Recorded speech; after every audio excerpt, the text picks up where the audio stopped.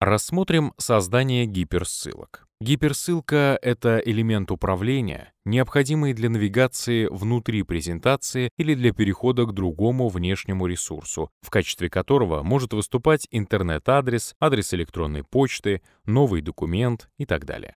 Объектом, для которого создается гиперссылка, может быть текст, фигура, рисунок и объект WordArt. Перед тем, как вставить гиперссылку в презентацию, на слайде нужно создать какой-либо объект. Перейдем на второй слайд и вставим на него прямоугольник.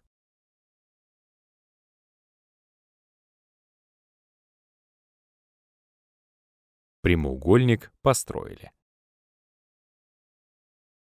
Для создания гиперссылок существует несколько способов. На вкладке «Вставка» в группе «Ссылки» выбираем пункт «Гиперссылка». Прямоугольник должен быть выделен. Проделать эти операции также можно, вызвав контекстное меню и команду «Гиперссылка». Открывается диалоговое окно «Вставка гиперссылки». В этом окне необходимо выбрать, с чем связать объект. Группа «Связать с». Что может открываться по щелчку на гиперссылке? Первое. Файл и веб-страница. Если требуется, чтобы при нажатии на кнопку был открыт какой-либо файл, то здесь указывается путь к этому файлу. Если при просмотре презентации нужно открыть веб-страницу, то в строке «Адрес» указывается URL-адрес. Например, yandex.ru.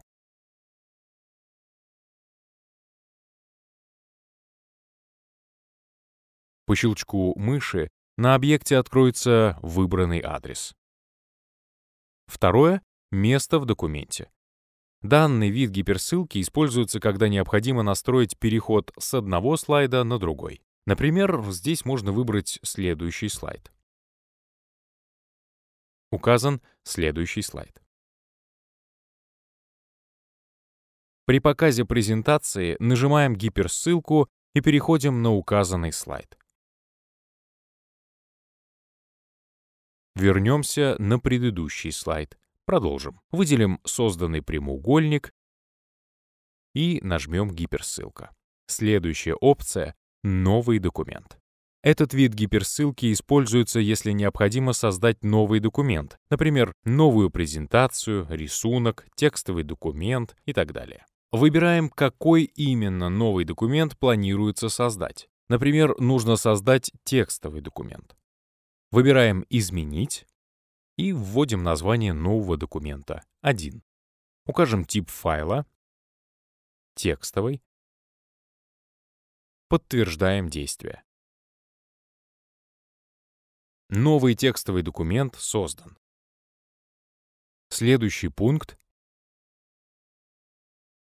— электронная почта. Он используется для создания электронного письма, заданной темы или электронного адреса. Это основные виды гиперссылок, доступные в презентации. Отменим изменения и продолжим. Кроме объектов, можно использовать в качестве гиперссылки текст. Для этого необходимо добавить какую-либо надпись. Наш текст.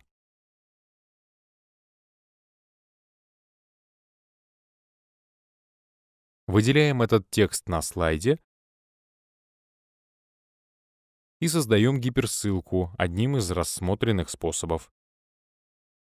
То же самое окно открыто. Создадим ссылку на веб-страницу. Например, outlook.com.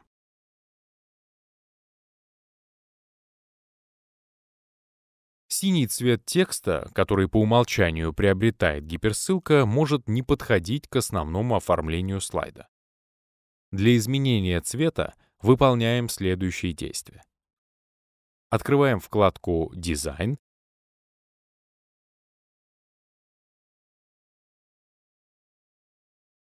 Переходим к вариантам и входим в группу «Цвета». Здесь представлен готовый набор цветовых схем, любой из которых можно воспользоваться. Но наша задача — создать свой цвет и гиперссылки, поэтому выбираем «Настроить цвета».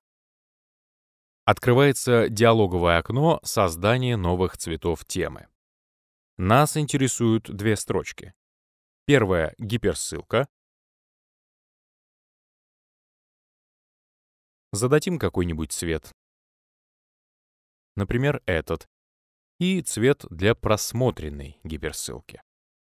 Для просмотренной гиперссылки по умолчанию установлен фиолетовый цвет. Изменим его на зеленый. И нажмем «Сохранить». Цвет гиперссылки автоматически изменился. Стоит заметить, что для изменения цвета гиперссылки не нужно выделять сам текст. Цвет гиперссылок изменится автоматически во всей презентации.